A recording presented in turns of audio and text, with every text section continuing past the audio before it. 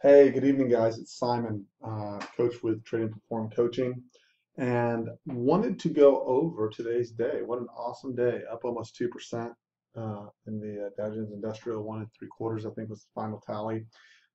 Let's start looking at the day from how we came at came at it from the live market preview, which is in the video right below this video. We had a couple of key concepts coming to the day that really kind of formatted and shaped our day in the way we were approaching the market. The first thing that you'll notice, this is I have not altered this chart at all. First of all, uptrend line starting from the swing low just after October 28th. And you'll see this trend line has not even been challenged. We haven't come close to swinging down. In my eyes, buyers are absolutely in control. I noted that from the gap, right, from this last gap, we've been unable to retrace any more than 50%, forget from the larger picture, from the smaller picture, which to me screams buyers in overall control, look for long opportunities, uh, and be quick and nimble on your shorts. Okay, that's that all that's up to. Again, you'll see me go into great detail on that in the uh, live market preview, which I do for my members every day. And uh, you'll see that posted in the video right below here, so you can kind of see get a before and after, which eliminates a lot of the bullshit that goes on where people said, "See, I told you," or any one of the other things. So knowing that we had buyers in control, the next, the other things that we have to address is what type of price action do we have? Is the environment tradable? And um, and where do we want to find our discipline and where do we want to find our entries? So I said this morning, I wanted 1990 75. That's the long location that I wanted. Okay, I wanted to be able to trade for the long side. I thought we had a good chance at shooting for this 207 50 um, I really didn't think we were going to hit 20, um, 2020, but uh, I did have it as a support resistance zone uh, up above. And if you'll notice, uh, every night when I po post these zones for, for the members, I post the absolute strongest zones with an S, right? And so you'll see today, the, the first thing we want to ask is, well, how did the zones work? So let's go answer the question. It's a good question.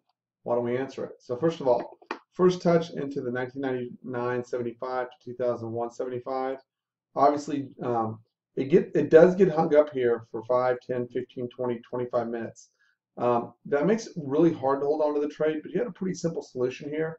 You could have simply put your stop one point above the swing high, and you had the opportunity to capture a nice, big, fat 10-point uh, rotation down from the 1999 level into the 1989 level.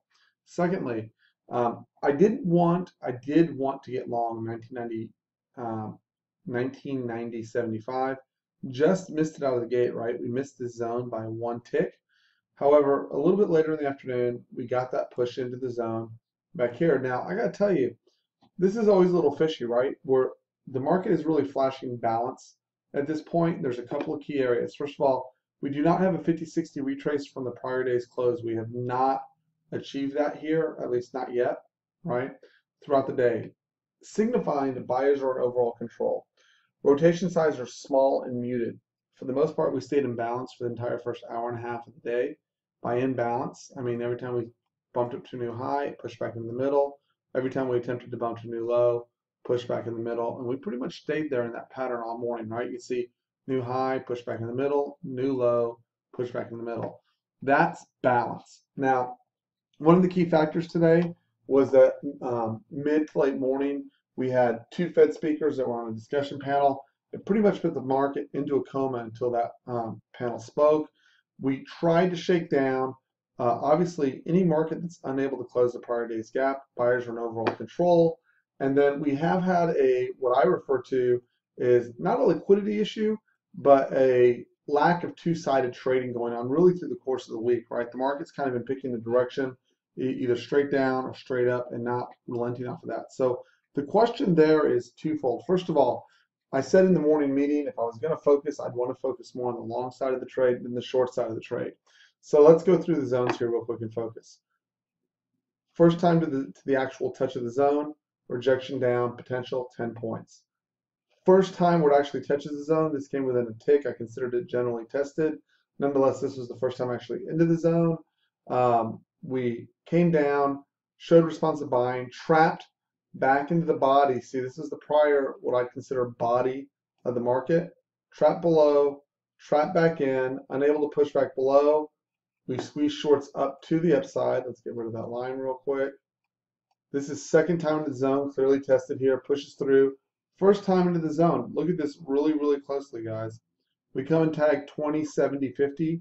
One, two, three times in a row. Off that 20, 70, 50, we get initial rejection where? Back down to about 205, 70, uh, 205, 75. One tick shy of a two-point rotation. Okay. Market, and now we've also spent 5, 10, 15, 20 minutes in the zone. Ian, who contacted me, I was out of the offset in the afternoon, had noted that he took the short in this location and um, he got a small scale and covered the balance for a one point stop after 20 minutes. That's perfect. It's exactly how you're supposed to trade the zone, right? If you were taking this zone after we'd been here 5, 10, 15, 20, 25, 30, 35, 40 minutes, right?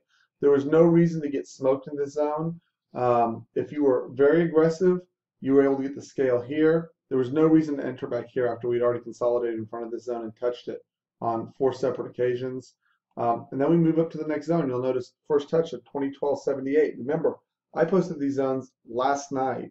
It's not like I went through and made them back up through the course of the day. Rejection from 2012.78, where all the way back down to 2010.50, easily giving you your two points of rotation. Scale, move stop to break even or net break even, depending on your trading style. Market rotates up. And if you would look, or if you could see in the private uh, um, tweets. I said this here. I'll pull up the private Twitter feed here. And that while I was out of the office in the afternoon attending to some personal business, you'll see that I put up there and I said, uh, I still consider uh, 07, 09, 50 valid. There were several more tw tweets up here. It still got up there. And if you look with, this was now um, about three hours ago, right? So six o'clock. Uh, this was close to the top of the hour, four four hours ago and I said, uh, guys, watching from my laptop, getting rejection at 207.50. So I noted the rejection 207.50, and then I said, then we moved up, rejecting out of 2012.75 zone. That being said, buyers are clearly in control, and then finally, 2020 area for the close is my guess.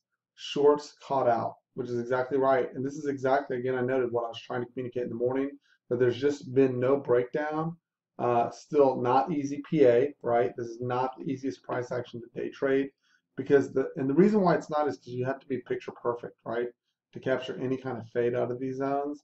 But the zones are still providing a location certainly better than getting location out out of the zones where you're just going to get run over, right? And then finally, the ultimate upside target today was 2019 to 2021, and we tagged that right at the close. So um, again, lots of opportunity to, um, to make money today. It was um, required a little bit of patience. Okay, it was not entirely easy, but we also was not impossible. If you focused on the long side of the trade, I had a couple of guys take the long right here, first time in at 1991. Hopefully, everyone avoided getting run over on the way up. Right, if you picked your trade location carefully, you were able to get anywhere from six to eight ticks out of the trade, which, considering the strength of the move to the upside. And if you focused, importantly, if you focused on the long side of the trade, this is a beautiful 10 point rotation down right into uh, an area I identified early on as wanting to have long, and it turned out to be pretty much the low of the day. Again, that's featured in the video before. So hopefully that's uh, insightful. These zones are very powerful, guys. They really give you a significant edge while you're trading. Uh, reduce the amount of thinking you have to do in between, and you'll notice we didn't get caught out. No, the zones that you don't see, right, keep you out of trouble, right? We crisscrossed all through this area. If I, you know, uh, lesser experience throwing a zone in the middle there, or trying to fade the middle here, would simply have gotten your bone crushed.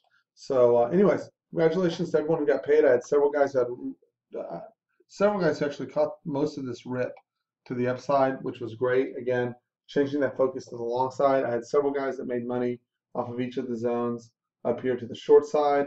Uh, but really, no matter how you trade, the zones give you a significant edge. My name is Simon. I'm a Trade and Perform Coaching. If you'd like to see what we do in the room, in our real-time uh, live trading room and market preview, send me an email to tradingperform at gmail.com, and I'll extend you a five-day trial. Uh, I think you will be impressed uh, if you like to make money, that is. So uh, uh, it's very frustrating not having a trade plan and not having an edge, trying to learn to trade the futures. But once you have an edge, and you can instill discipline, um, the world is your oyster. So, anyways, have a great night, guys. Members, I'll have the charts out shortly. I'll upload this video. I'll see everyone in the morning. I'm looking forward to having a great day tomorrow. Have a good night, guys.